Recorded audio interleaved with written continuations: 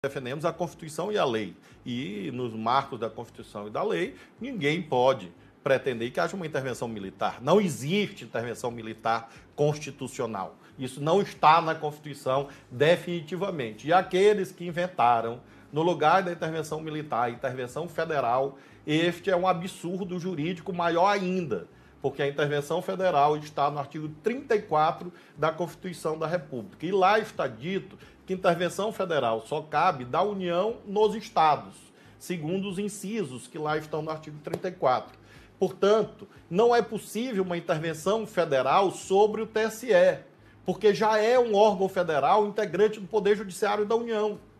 Então, esses que estão com cartazes pedindo intervenção federal, pelo amor de nosso Senhor Jesus Cristo, entendam que isso não existe constitucionalmente. Portanto, estão pedindo um golpe e nós não podemos conviver com golpe. O princípio é eleições diretas, secretas, universais e periódicas. Está na Constituição. Nós perdemos em 2018. Esperamos. Vencemos em 2022. O pedido que a gente faz é: esperem em 2026. Aí vocês disputam a eleição. Se vencerem, nós vamos saber esperar mais quatro anos. Isso se chama democracia.